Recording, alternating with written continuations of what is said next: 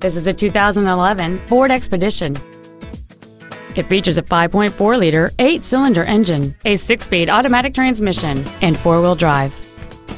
Its top features include power adjustable driver pedals, a power driver's seat, cruise control, a premium audio system, a leather wrapped steering wheel, a double wishbone independent front suspension, aluminum wheels, a low tire pressure indicator, heater vents for rear seat passengers, and this vehicle has fewer than 27,000 miles on the odometer. Please call us today for more information on this great vehicle.